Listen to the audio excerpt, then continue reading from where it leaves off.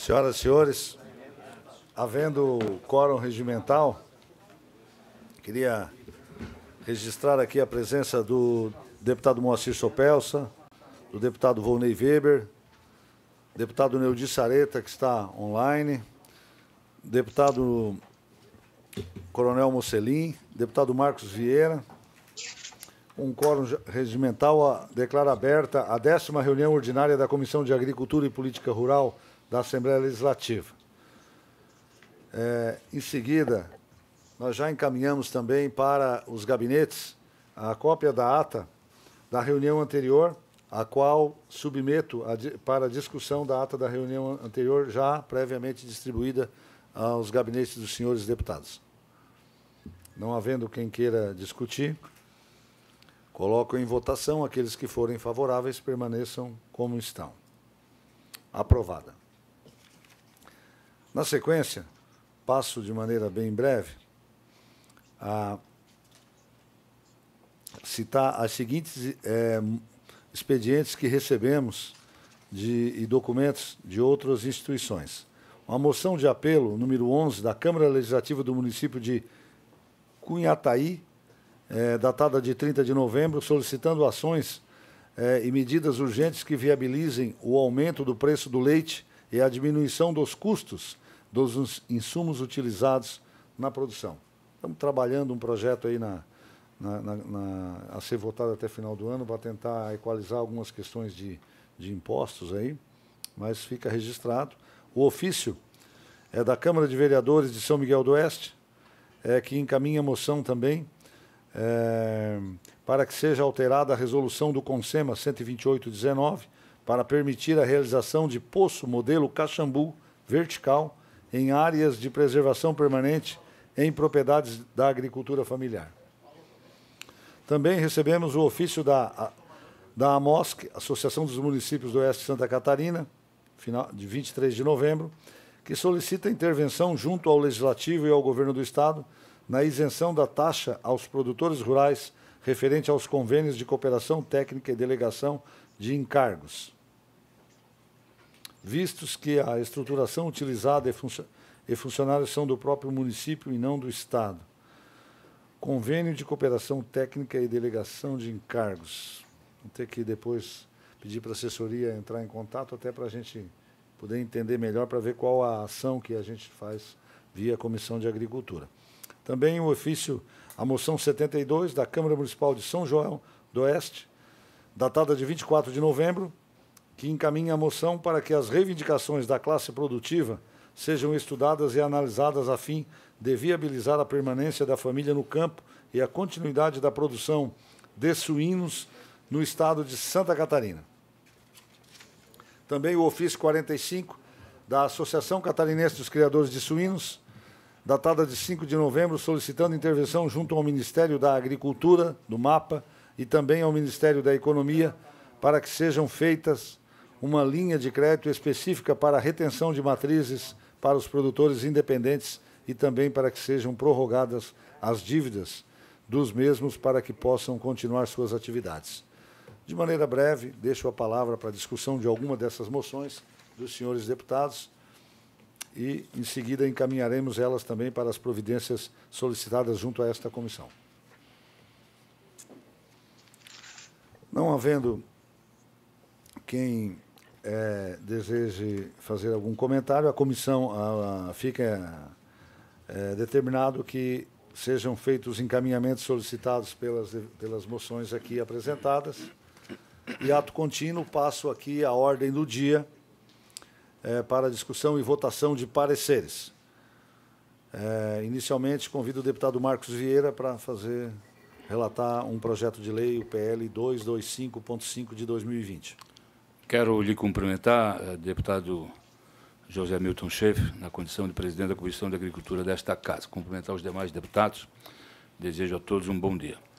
É, Encontra-se em meu poder, é, na condição de, de, de relator, o, o, projeto de lei 0225.5-2020, em que é autor o eminente deputado Wilson Berlanda, que dispõe sobre a aquisição de gêneros alimentícios na agricultura familiar pelos estabelecimentos penitenciários do Estado de Santa Catarina Eu verifiquei, senhor presidente, senhores deputados, toda a documentação acostada no presente projeto de lei e constato de que realmente não há qualquer óbice na sua regular tramitação. Da mesma forma como também entendo ser um projeto extremamente importante para a agricultura familiar de Santa Catarina, razão pela qual eh, o meu voto é pela aprovação da matéria na forma da subemenda substitutiva global aprovada na Comissão de Finanças e Tributação constante de folhas 39 e 40. É o meu voto, senhor presidente.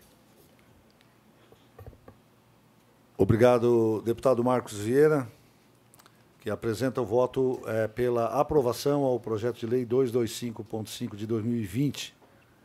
É, coloco em discussão.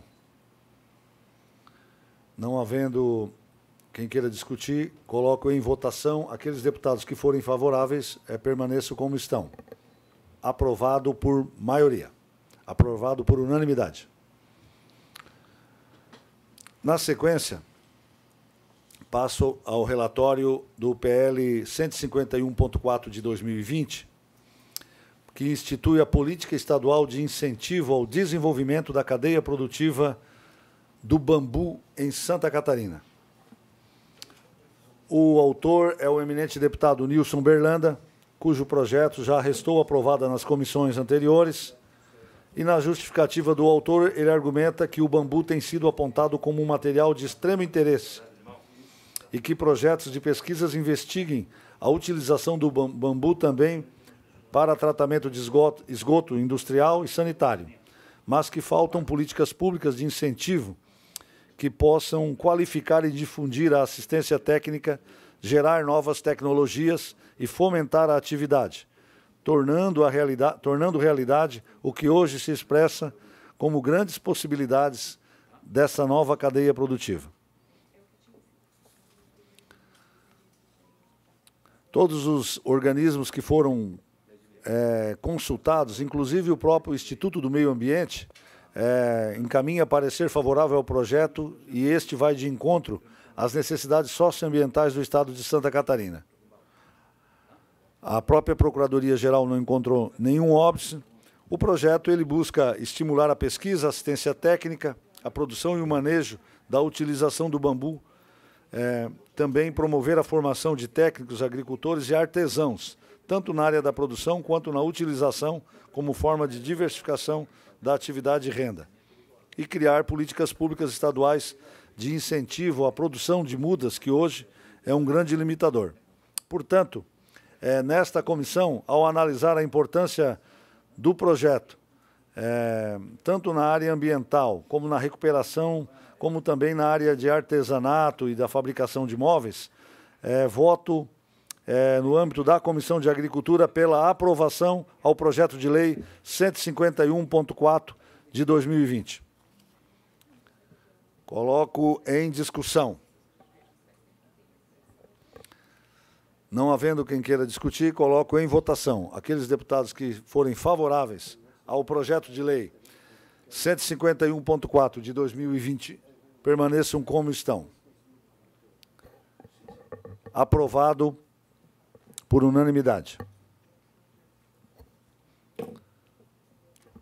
Na sequência, passo a relatar também o projeto de lei 278.7 de 2021, que revoga o inciso 3 do caput do artigo 8 da Lei Complementar número 2004 de 2001, que cria o Fundo Estadual de Sanidade Animal e adota outras providências. O autor é o governo do Estado.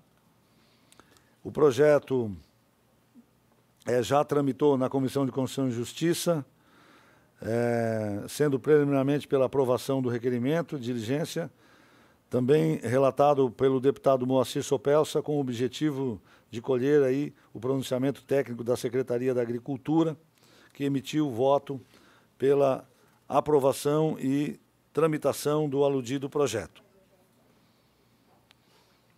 Após é, conhecer o entendimento dos órgãos já diligenciados é, acerca da matéria, a CCJ, por unanimidade, decidiu por admitir a continuidade da tramitação. A mesma forma, teve é, do presente projeto de lei, que foi incluído uma emenda substitutiva global apresentada pelo eminente deputado Moacir Sopelsa para acrescentar o inciso 4 do artigo 8 que dispõe que, em caso de reincidência de infrações, fica vedada a indenização pelo Fundesa, bem como acrescida o parágrafo 3 para estabelecer o prazo de 12 meses anteriores à data da ocorrência para análise prévia do histórico sanitário. A, a posterior, a proposição seguiu como tramitação também na Finanças, como aprovação. É um projeto que tem como objetivo tornar menos burocrático a indenização de animais que são abatidos por brucelose e tuberculose. Nós temos aqui no estado de Santa Catarina um programa estadual de controle e erradicação dessas doenças, onde o estado ele indeniza o produtor em determinadas condições e critérios é, quando o seu rebanho é, é encontrado animais é, com brucelose ou tuberculose. Ocorre que a burocracia dos órgãos, a dificuldade de acompanhamento, tem causado enormes prejuízos a agricultores, inclusive famílias que têm deixado de é, produzir principalmente gado de leite, né, pela ocorrência dessas doenças, cujos rebanhos têm sido muitas vezes erradicados e alguns proprietários é, não encontram guarida na lei para receber a indenização. A grande maioria consegue as indenizações através da Secretaria de Estado da Agricultura. Então, o presente projeto visa tornar mais célere, mais justo né, essas indenizações, mas obviamente que também precisa que tanto a SIDASC quanto a EPAGRE, como todos os órgãos, criem um programa de esclarecimento, de acompanhamento é, e de auxílio aos pecuaristas catarinenses para que a gente possa diminuir o impacto causado por essa doença. A parte da Assembleia está sendo feita, tornando um pouco menos burocrático esse programa, mas sem que ele também não perca o foco, que é o próprio produtor buscar, através dos meios, é, mecanismos é, de proteção e de erradicação dessa, dessas duas doenças que são de interesse, primeiro, do próprio agricultor, porque tem doenças dessas, que inclusive podem atingir a família do produtor. Mas, ao mesmo tempo, aqueles produtores que, por questões é, contrárias à sua vontade ou às suas ações, acabam tendo rebanhos contaminados, que eles possam ter a indenização no tempo certo e de maneira justa, para que possam repor os seus, é, o seu rebanho e também é, seguirem né, com as suas atividades. Então, ante o exposto, né, no, no, âmbito deste, desse colegiado, voto pela aprovação do PL 278.7, nos termos da emenda substitutiva global aprovada na Comissão de Constituição e Justiça. Senhor presidente. Por favor. É um projeto que vem, com certeza, de encontro à necessidade do catarinense né? a erradicação, as políticas para fazer com que tenhamos plantel é, sadio, isso já é de conhecimento e da grande vontade dos nossos produtores e também do governo. Mas é lógico, quando somos surpreendidos por uma doença que vem a, a ter uma a finalidade, depois dela estar no rebanho, é, é a, a condenação do rebanho, isso causa uma insegurança muito grande aos nossos produtores, principalmente porque a receita que se tem, principalmente o gado leiteiro, né, você já perde a, a produção. É, se perde ali a renda, se perde ali o equilíbrio financeiro da propriedade.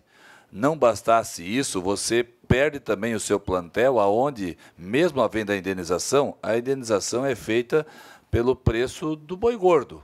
Quando que uma matriz na área do leite, uma matriz dessa, ela é muitas vezes é, acima do preço do boi gordo. Então é, é, um, é um, um, o plantel caríssimo, de alto valor. Então veja só, você perde a renda, perde o plantel, é, você fica em situação complicada na, na propriedade e ainda além disso demora a vir a indenização.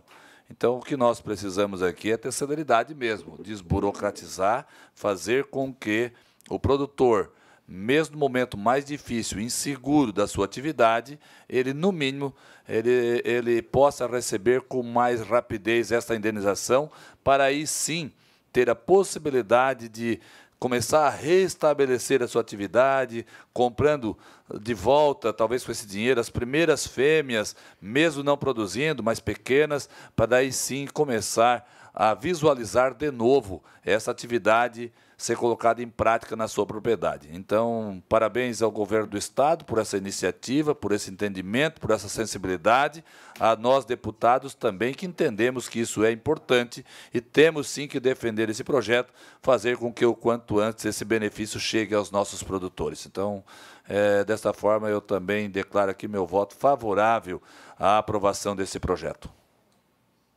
Muito obrigado, deputado Volney. A sua palavra, então, passo a palavra ao deputado Moacir Sopelsa. Muito obrigado, deputado presidente da Comissão de Agricultura, deputado Zé Milton Schaefer, deputado Mocilin, deputado Vonei. Vi há pouco aqui também online o deputado Nilde Sareta, há pouco esteve aqui também o deputado Marcos Vieira.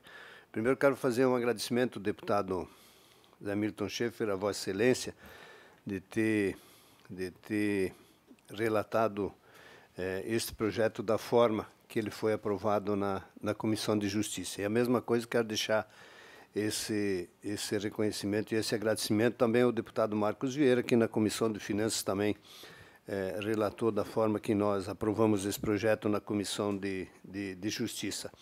É, o, o, que, que, o que, que mudou a emenda, né, que se estabeleceu um prazo, é, isso não, não tinha, não era claro antes, né, é, de 12 meses para que é, o, se possa, a, no máximo, né, 12 meses, para que as pessoas possam ter uma definição das suas, das suas indenizações. Né? É, e também o projeto previa é, que ele tinha retroatividade né, de, de, de 1 de janeiro. Entendo que nós fomos mais justos né, quando colocamos que a nossa sugestão seja a partir de 26 de julho, quando o projeto aportou aqui na, na casa. Né? É, e, e, é um projeto, já foi dito aqui e muito bem explicado pelo deputado presidente Zé Milton Schaefer, pelo deputado Vonei, Morasto, uh, Vonei Weber. Vonei Morastoni foi muito elogiado ontem lá, né? E, e, ficou na cabeça, né, deputado Mocelin, o deputado Vonei Weber, e, da importância do projeto. É, eu não tenho nenhuma dúvida que nós precisamos caminhar com, com mais agilidade nessas ações. Às vezes, deputado Vonei, elas não são compreendidas, deputado Mocelin, porque o produtor diz o seguinte: não, mas eu já estou há um ano esperando a indenização e não estou conseguindo. Às vezes não é nem o governo, nem a Secretaria da Agricultura que são os culpados. Às vezes falta documentos. E às vezes também tem documentação é, que, é, analisada toda, não lhe dá o direito de receber. Né? Então, havia uma emenda do deputado Márcio Machado que a gente colocasse aí a indenização de animais que podiam ser abatidos por, por ou coisa assim, né? Acho que não, não, não tem um vínculo com aquilo que nós estamos aqui criando, o adequando esse projeto da, esse projeto da Secretaria da Agricultura na defesa da sanidade animal. É, esse fundo é específico para defesa, e aquilo que disse o deputado Zé Milton, tuberculose e brucelose, é, elas são transmitidas dos animais também para as pessoas. Nós tivemos muitos casos já de agricultores que tiveram manuseio com animais é, contaminados, tanto que com tuberculose quanto com brucelose, e que também foram contaminados. Então, o estado de Santa Catarina é o único que quer manter essa atividade, se não livre, mas uh, essas doenças, se não livres, mas pelo menos com um índice é, considerado desprezível. Né? Então, eu acho que foi muito importante esse projeto e quero agradecer mais uma vez os deputados que confiaram na, na, no, no, relatório que a gente fez e nós deixarmos esse projeto aprovado né, no, na última semana que a gente está aqui, desse ano aqui. Obrigado, deputado. Muito bem. Não havendo quem mais queira discutir, coloco em votação. Aqueles deputados que forem favoráveis é, permaneçam como estão. Então, aprovado por unanimidade. Né? Quero aqui o, o projeto de lei 278.7 de 2021, que altera é, o inciso terceiro da Lei Complementar 204, que cria o Fundo Estadual de Sanidade Animal e adota outras providências, o Fundes. E não havendo mais assuntos a tratar, matérias a serem tratadas, eu quero aqui declarar de encerrada a presente reunião, agradecendo a presença e a participação e, a, e o debate aqui de todos os senhores deputados. Muito obrigado e um bom dia a todos.